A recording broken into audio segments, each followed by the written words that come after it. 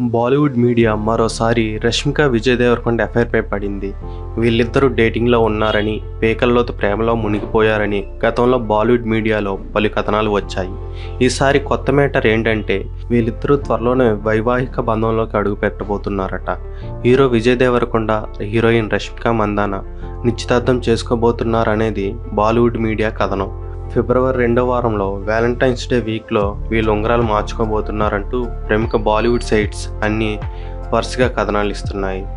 తమ లవ్ మ్యాటర్తో పాటు ఎంగేజ్మెంట్ విషయాన్ని ఈ జంట స్వయంగా ప్రకటించి మరీ వైవాహిక బంధంలోకి అడుగు పెడుతుందని వార్తలు వస్తున్నాయి.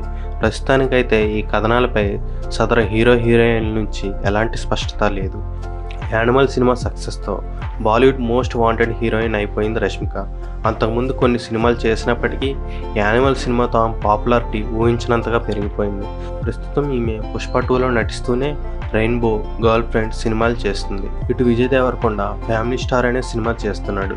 గతంలో విజయ్ దేవరకొండ రష్మిక కలిసి గీతా గోవిందం డియర్ కామ్రేడ్ సినిమాలు చేశారు.